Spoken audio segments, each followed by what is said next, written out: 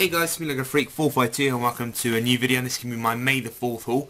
And this video is going to be before a, uh, a video I'm going to make which to be a big announcement for you guys about my channel. That will really affect it. So um, yeah, it's going to be coming out soon. But anyway here we are today with the uh, big package for May the 4th and uh, yeah, you know you probably guys know what um, uh, I did buy something obviously. But yeah, let's get on with it. And uh, let me have a look and uh, what's inside. And me open the box for you.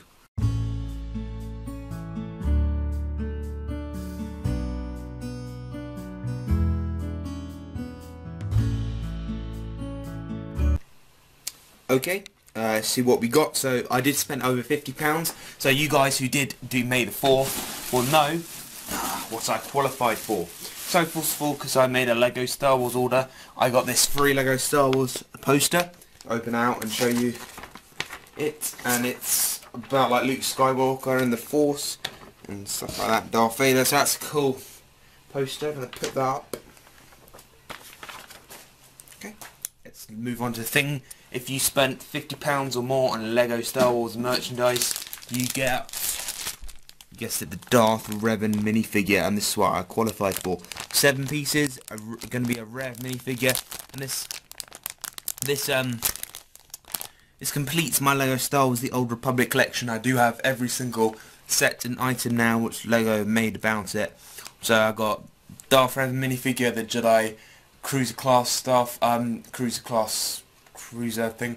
Uh, I can't remember what it's called. The uh, the battle pack, uh, Fury class interceptor, and the uh, the Jedi like the red ship. I call it. It's called um. Not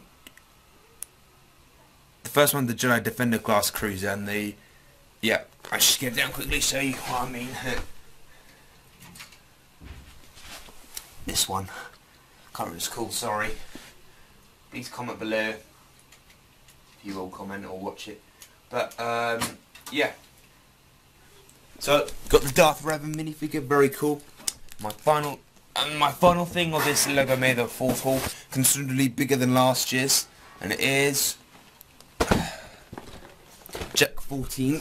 Ooh, Jek-14's Stealth Starfighter, and I got this on sale, 15% off. So that was like. Uh, around about £10 which is pretty good. Yep, it includes four minifigures, as you can see down there.